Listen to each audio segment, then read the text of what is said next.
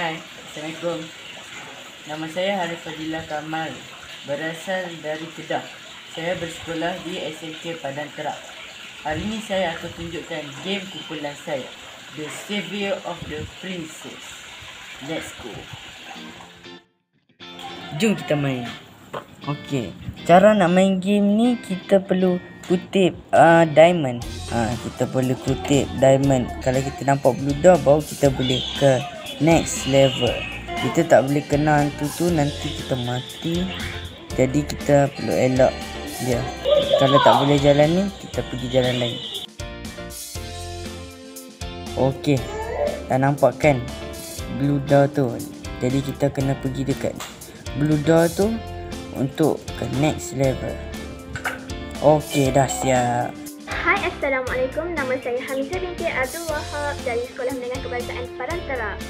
Saya ahli unit beruniform kadet polis. Okey, untuk level yang kedua, kita kena kutip kristal-kristal yang berwarna ungu untuk pergi ke level yang seterusnya. Selepas kita sudah kutip semua kristal-kristal yang berwarna ungu, pintu untuk level yang sesungguhnya akan muncul.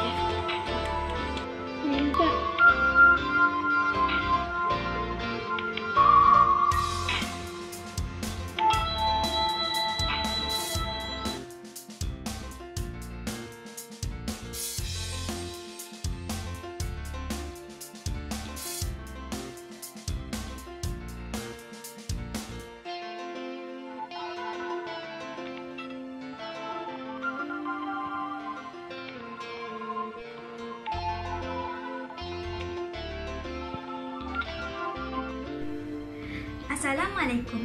Nama saya Nur Aisna Amani binti Mazaki dari SMK Padang Terak, Negeri Kedah.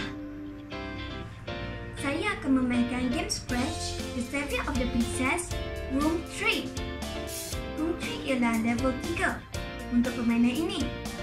Prince Alex perlu mengutip 5 bintang untuk Princess muncul. Apabila Prince Alex menyentuh Princess dan permainan ini akan tamat.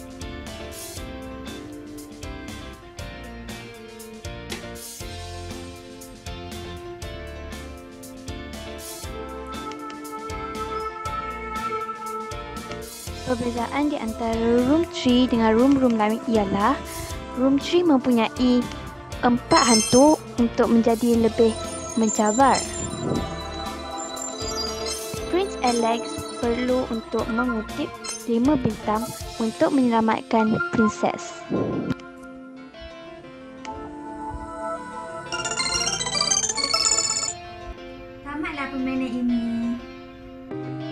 Ini adalah kod-kod yang telah kami gunakan. Di sebelah kiri adalah kod untuk pergerakan watak utama kami. Dengan menggunakan anak panah di keyboard, kita boleh gerakkan watak tersebut. Setiap kali kalau kamu tekan bendera hijau, skor atau pemarkah akan diset kepada kosong. Dan kalau watak utama tersentuh pintu, dia akan kembali ke posisi asal. Di sini juga kami letak kod untuk paparkan mesej untuk ke bilik seterusnya semasa watak utama sentuh pintu. Ini pula merupakan kod untuk pergerakan hantu kami. Dan ini adalah kod untuk kristal dan bintang. Semasa tersentuh watak Prince kristal akan hilang dan tambah satu markah. Ini ialah kod untuk pintu. Mula-mula dia akan disembunyikan dan hanya akan muncul semasa dapat arahan daripada kod dinding yang akan ditunjukkan kemudian.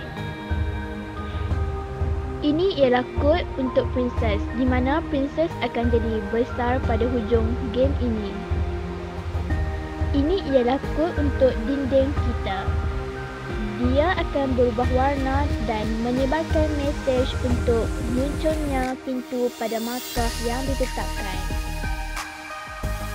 Di sini kita akan melihat kod untuk halaman tahniah di hujung game dan ini merupakan kod untuk untuk halaman pertama yang memberi sedikit sebanyak pengenalan. Itu sahaja. Sekian terima kasih dan semoga anda dapat menikmati game kami.